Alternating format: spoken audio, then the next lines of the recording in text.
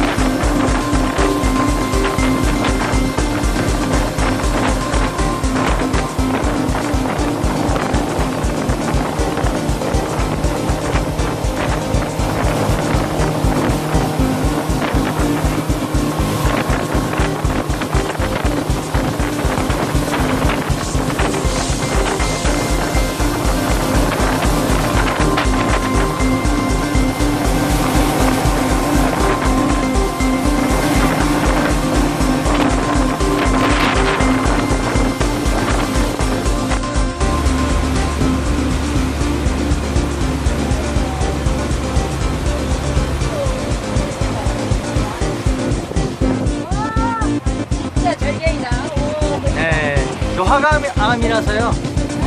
저 화강암이라서 비에 잘 녹고 변화를 해요. 그래서 섬들이 좀 기대합니다, 고양들이. 네.